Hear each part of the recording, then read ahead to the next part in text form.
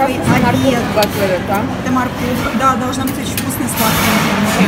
Они с чем-то, я даже не пойму, что за Это специя. картошка, это Светочка, салатная выяснилось, заправка, что сам за специя морковке? свежие нормальные огурцы, Что за специя салат, не потому что чувствуете, что может чуть приболеют. Ну, это девчонки другие тоже дают, кто не дает. Ты сейчас Очень хочу, чтобы ты Девчонки, хочу вам показать э, то, что я купила сегодня. Мы рано утром, причем рано утром, причем я не спала уже третьи сутки пошли, практически не чувствую усталости, я не знаю, на чем я живу сейчас, вот честно, потому что я а, ни в одном из самолете, у нас было два перелета, это а, Москва, а, Бангалор, нет, Москва, Абу-Даби, Абу-Даби, Бангалор, и потом Бангалор, а, Путапарти на такси 3 часа. То есть первый самолет у нас был 5 то ли 6 часов, второй самолет 2,5 часа и такси 3 часа. А, Я не спала, еще был а, поезд Саратов-Москва. Я в поезде вообще практически не спала. Ну, не знаю, что-то как-то мне не спалось, и я постоянно просыпалась, я боялась, что я не услышу будильник, что я вовремя не соберусь. Еще плюс надо переложить там какие-то вещи из ручной клади, какие-то а, там, ручную кладь наоборот, да, и поэтому нужно было сделать все четко. А так как а, мы проходим, у нас практически не было таких вот задержек в пересадках, да, у нас заканчивался один самолет, мы там что-то делали, там переодевались, потому что это все-таки с зимы въезжаешь в лето, то есть все было технично, настолько технично, что вот эти вот двое суток, они пролетели просто незаметно, двое суток, самолетных двое суток. Вот, я вам не буду показывать сейчас э, то место, где мы живем, то есть тот номер, в котором мы живем, потому что, э, ну, не хочу шокировать вас повторно. Заселились в прежние номера, а, в которые заселялись и в прошлом году. Есть здесь и лучшие номера, хорошие, но а, так как а, Андрей, организатор этой поездки, считает, что таким образом формируется общий духовный фон, мы находимся на одном даже этаже, мы собираемся там на какие-то собрания, там еще что- что-то, какие-то мероприятия проводятся. А, Вот, поэтому, блин, трогаю, трогаю, она еще будет краснеть у меня. Поэтому мы живем на одном этаже. Неважно, есть ли у тебя возможность заплатить э, побольше денежек, да, и жить в более комфортных условиях или нет. Ну, э, таковы, бы, таковы условия. Хочешь, езжай, хочешь, нет. Ну, можно, конечно, воспротивиться, но он всячески будет уговаривать, что общий фон имеет большое значение. Вот, что мы сегодня сделали? Мы сегодня с Машей поболтали, походили по магазинам, а, кое-что прикупили, о чем я вам сейчас покажу. А, Будем убираться в номере. За мной это помыть полы а, во всех, во всей одной комнате большой. У нее убрать ванны. Я не люблю вот эти вот мелкие дела, там что-то протирать полочки, мыть стены, то есть это не мое. Мне а, нужно что-то сделать крупное одно, пусть я сделаю одно крупное, чем я буду по мелочи там что-то вытирать. Да вообще, если честно, уборка не мое. Она в прошлый раз убрала почти всю комнату у меня, всю, ну, весь, всю нашу комнату, да, две комнаты, ванная и это. Не моя уборка, я лучше посуду 150 раз помою, чем я один раз уберусь.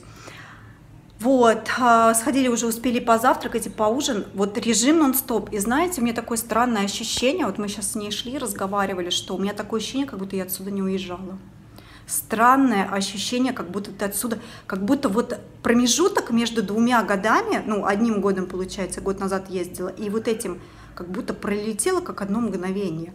И как будто бы не ты уезжала а, там на целый год а, обратно, да, в Россию, в Саратов, а как будто бы ты постоянно здесь жила, и туда ты уезжала де- недельки на две, и сюда опять ты домой вернулась. Какой вот, вот, вот вот это мой, вот мое, это мой дом. То есть я приехала, я даже не знаю, как это передать состояние. Очень странное такое состояние. Но ты приехал в свой дом, какой-то необычный.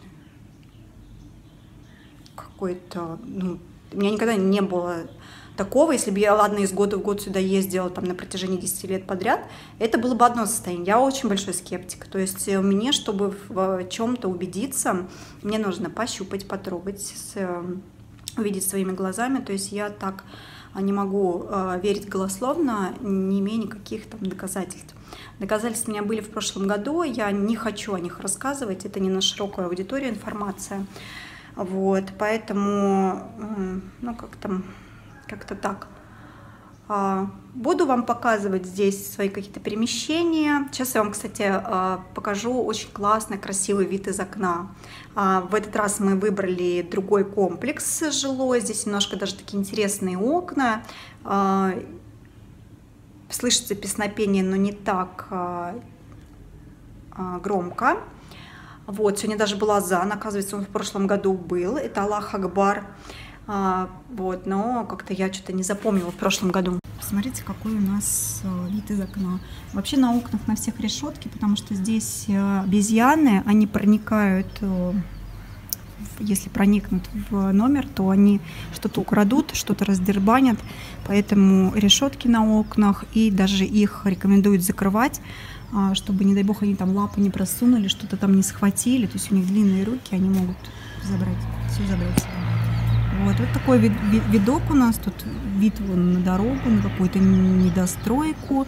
Но в целом пальмы. То есть а, в прошлый раз у нас выход был на внутреннюю часть дворика. В этот раз вот знаете, Индия, она вся такая какая-то гористая, холмистая, причем очень сухая, сухой климат. И вот, ну, вот горы, вот что-то вроде вот этих вот непонятных таких засохших участков. Пальмы, птички поют знаете, вот я и говорю, настолько как-то... То ли мы сюда быстро приехали, вот странное ощущение, как будто бы я отсюда не уезжала. Как будто вот это лето, пальмы, солнце всегда было со мной. Необычное очень. Зимы в лето. Странное, странноватенькое. Даже передать словами. Я, как э, обычно говорю, не могу в человеческий язык вот эти вот мысли формы свои перевести. Что я купила? А, значит, в прошлый раз я брала такую же сумку, но, к сожалению, оставила ее дома. Я не хотела повторно брать э, другую, потому что меня та полностью устраивала, по всю одежку подходила, которую я, которую я сюда, в принципе, взяла. Но пришлось мне все-таки взять. Это, знаете, такого он э, голубого даже больше цвета. На камере почему-то передается как э, цвет морской волны, как ментоловый. А, решила взять с таким узором, потому что э, в основном у меня вся здесь в голубом цвете одежды. Такие маленькие сумочки, в которых можно входить в сам э, храм, э, в сам мандир, потому что туда нельзя брать большие сумки, сумки проверяют, нельзя проносить телефоны, камеры и так далее. Но ничего там такого нету, не происходит, но почему-то нельзя. А, значит, жидкое мыло это мы взяли с Машкой, здесь будем руки мыть, может быть там просто мыться им это я умывашку для лица. Я ничего вообще ни фаберличного не брала, ни а, гели для душа, ни шампунь, ни вообще ничего. Я решила все здесь попробовать, именно индийское такое местное. А, это бальзамчик для волос, маленький тюбик. Если закончится, еще докуплю себе шампуньку для волос какой-то увлажняющий. Обязательно сейчас начну уже сразу трифу лупить. Я, если хотите, вам покажу потом попозже список. Ну, вы не сможете мне дать этот ответ, потому что все-таки смонтируется видео у меня а, после приезда. А, я вам дам списочек, а, подборку делал Андрей, значит, нетрадиционные медицины, вот этих аюрведических препаратов, что от чего, для чего, зачем и почему.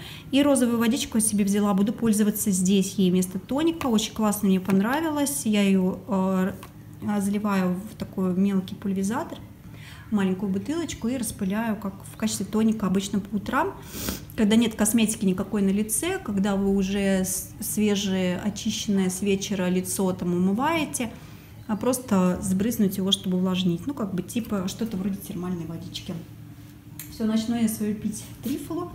Наконец-таки, ура! Господи, что-то меня... Кстати, я чуть-чуть думала, что приболею. Чуть-чуть думала, ну думала, что приболею. Но приехала, сейчас смотрю, меня ни горло не схватило, то ли мне помогают витамины, те, которые я пью, то ли не знаю, по какой причине. Но прям меня сильно просквозило в поезде. И думала, приеду, все, по приезду заболею. По возможности старалась пить чай с лимоном в самолетах.